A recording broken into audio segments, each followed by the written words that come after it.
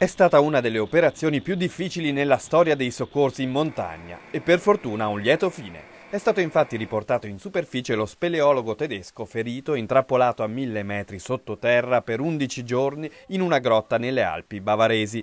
Per salvare Johann Westhauser, 52 anni, sono state mobilitate 728 persone da 5 paesi, tra personale medico, speleologi ed equipaggi di elicotteri. In queste immagini spettacolari si vedono le complesse operazioni di salvataggio che hanno coinvolto anche 109 tecnici italiani del Corpo Nazionale Soccorso Alpino e Speleologico. L'uomo è riapparso in superficie 274 ore dopo l'incidente. Una unità di medici rianimatori gli ha somministrato le prime cure prima di trasferirlo in un ospedale. Originario di Karlsruhe, Westhauser si era ferito alla testa e al petto per la caduta di sassi mentre esplorava con due compagni la grotta di Risending-Schachtöle alla frontiera austriaca.